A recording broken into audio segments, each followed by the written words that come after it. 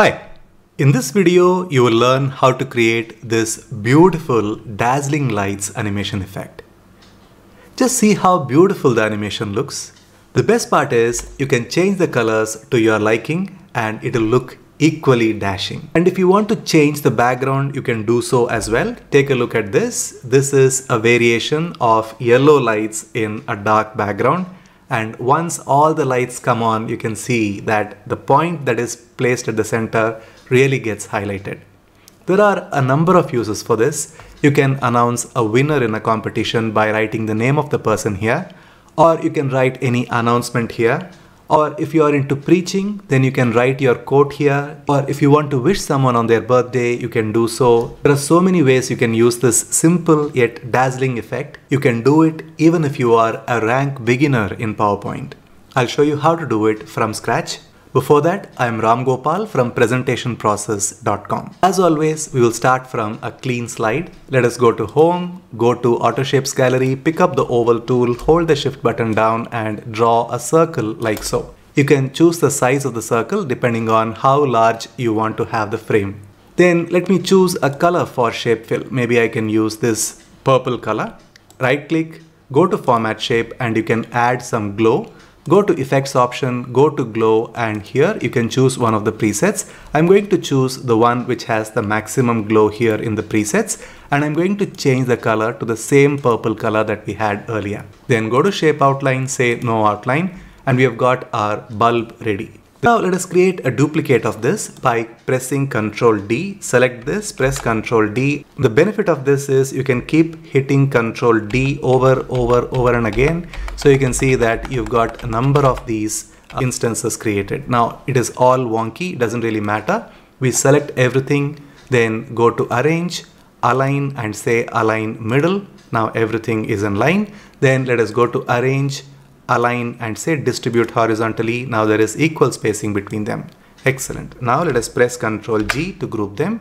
Let us create Ctrl D to create a duplicate and let us place this over here. And let us make one more copy of this by pressing Ctrl D. And then let us rotate this right 90 degrees and let us place this over here. Now that is a good enough distance. We don't really want the rest of them. Let us right click, group, ungroup first let us select all of these and delete them all. You can of course zoom out, select everything else and delete. Now we are going to group just these ones. See, I have carefully selected just these. If you are not able to do so, you can hold the shift button down and select each of these.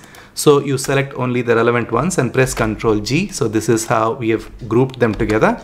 Let us go to this one called as fit slide to current window. So you can see everything in the normal view.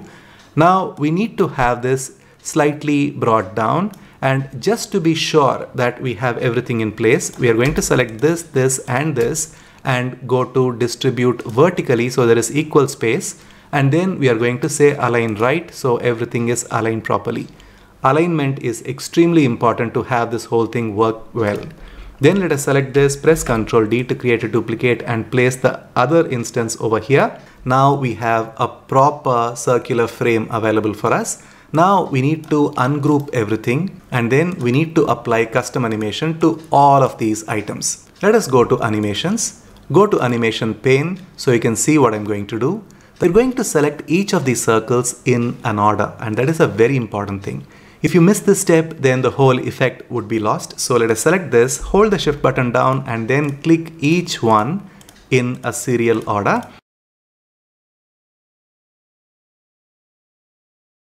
Let's go here and add emphasis animation and the one that we are going to choose is color pulse. So that is how it pulses. Now we have got all these animations selected. Let us go to the last one, click on the drop down menu, go to effect options and say timing it needs to repeat until end of slide and you say okay.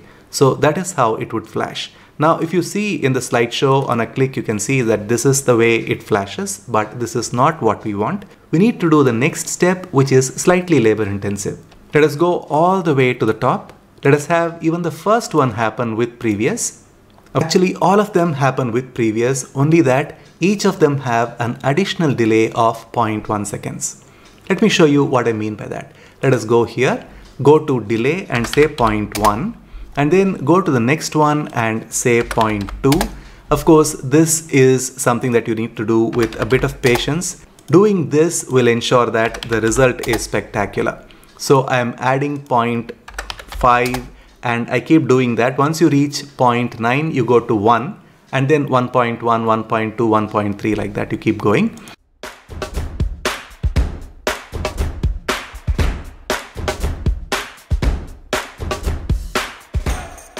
There it is. I have done that for all the circles. Let us go to slideshow and see the result of our hard work. And you can see that this whole thing looks so beautiful. And the best part is you do it just once and you can use this slide as many times as you want for as many occasions as you want. If you want to change the colors, all you need to do is to create a duplicate and then go here, go to shape fill and choose some other color. Maybe this blue color and then go to shape effects, go to glow and then go to more glow colors and you can choose the same blue color. And when you go to slideshow, this is how the whole effect starts. And once it picks up pace, then it starts dazzling like so. And once you're happy with the result, you can pick up the text box tool and write your text in the middle. And of course, after that, you can show off to your friends, colleagues, and make them wonder how you created this beautiful effect and when you tell them that you created this using PowerPoint, they will be amazed. If you liked this tutorial, then you will really love this other tutorial that we have put together a while back called Easy PowerPoint Animation Effect. We have used the same idea but in a very different way. I will leave a link to that video right here on your screen. You can click on the link, go watch that video and learn a creative variation of this beautiful effect. I'll see you inside that video.